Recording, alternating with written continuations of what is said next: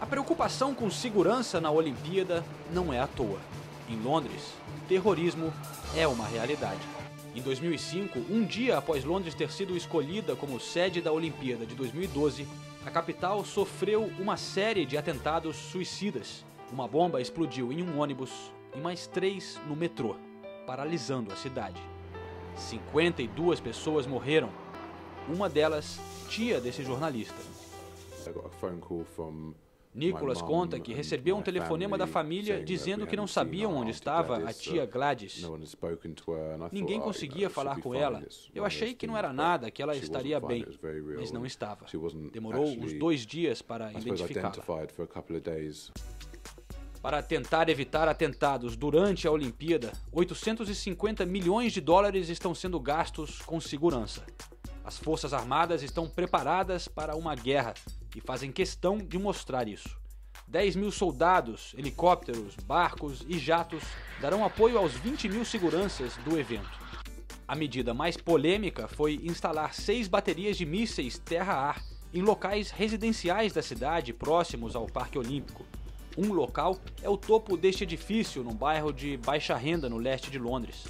Moradores contam que receberam um panfleto pela porta informando que o exército iria usar o prédio, Alguns ficaram indignados por não haver consulta sobre a decisão.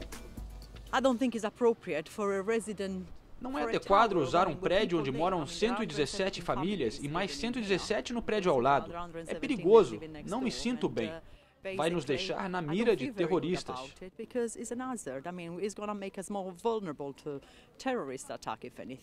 Um grupo de residentes desse prédio entrou na justiça com uma ação no Tribunal de Londres para tentar impedir a instalação dos mísseis no telhado.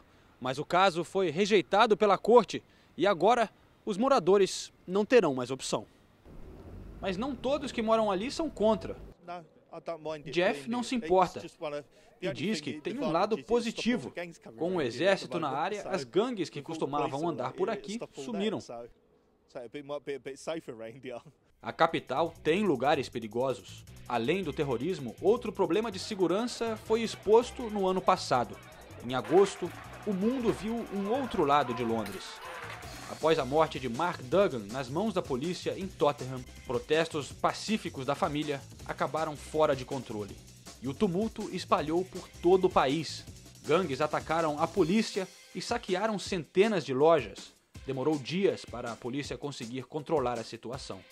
Enquanto ministros condenavam o vandalismo e culpavam os jovens, Ted Nye, diretor de uma produtora que trabalhava nos bairros afetados pelos distúrbios, decidiu fazer um filme com os moradores, dando uma voz aos jovens envolvidos. Ele conta que fizeram o filme para investigar por que a sociedade chegou ao ponto disso acontecer. Muita coisa contribuiu para a erupção do tumulto, a crise econômica, cortes do governo, a raiva de jovens frustrados, a má relação entre a polícia e comunidades, e também houve muito oportunismo. No one was listening to the police, but at the same time the police weren't listening to us. I was really, really scared. If they can't get the truth, they make it up. He was not a gangster. They gave us the opportunity to riot. We rioted. Imagine all the shops on the high road was open. You can go in there and take whatever you want. That's something you don't expect to happen. Now I thought, wow, I need to take advantage of the situation. Tanto os distúrbios quanto o terrorismo refletem problemas na sociedade. Mas Londres mantém uma atitude que vem dos tempos de guerra, em que, apesar de tudo, a vida tem que continuar. Back on the tube the next day, no dia seguinte já estava no metrô indo trabalhar. Estamos acostumados às voltas da vida. Isso é a vida na cidade.